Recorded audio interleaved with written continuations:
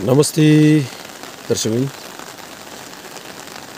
यो चाडबाडको मुखैको बेलामा मनसुनको आगमनले चारैतिर अध्राज्यव्यापी नै भनौँ लगभग झरिपरेको छ खोला नाला बढेको छ जसको कारणले गर्दा पाकिसकेको धान खेतीबाली लगायत विभिन्न खतराहरू बढेको छ।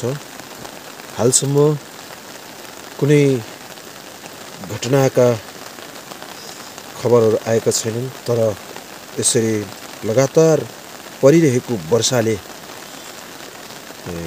विभिन्न ठाउँमा पहिरोहरू खस्न थालेको खबर पनि प्राप्त भइसकेको छ भने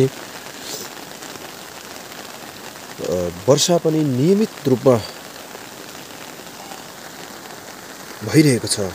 जसका कारण तपाईँ हामी सबैजना सुरक्षित रहौँ।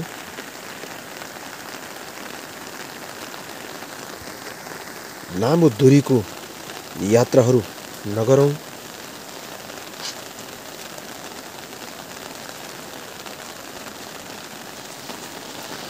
तपाईँहरूले देखिरहेको भएको छ? कस्तो छ अवस्था? के छ भन्ने कुरा यसरी नै आकलन गर्न सक्छौँ हामी केही सम्भावित खतरालाई लिएर। तसर्थ मौसम विभागले पनि जानकारी गराइरहेको छ र हामी पनि यसरी नै युट्युब टिकटक फेसबुक तथा विभिन्न माध्यम मार्फत यहाँहरूलाई जानकारी गराइरहनेछौँ। हाम्रो हरेक च्यानलहरू या सामाजिक सञ्जालका पोस्टहरू यति बेला यो भुर्लेटारको ख्याल गर्नुहुनेछ भन्ने हेर्नुहुनेछ। भन्ने अवस्था। आशा गर्दछौँ र यहाँहरूकै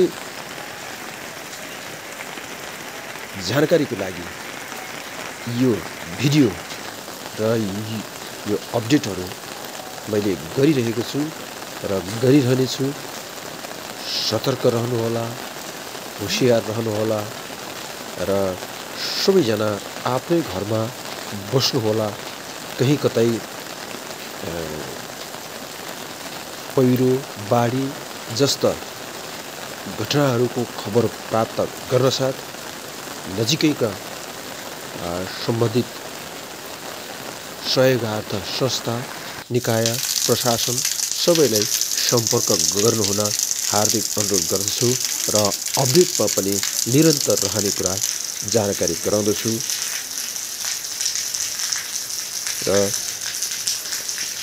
सँगसँगै मेरो यो युट्युब च्यानललाई पनि सब्सक्राइब गर्नुहुन म हार्दिक अनुरोध पनि गर्न चाहन्छु। धन्यवाद।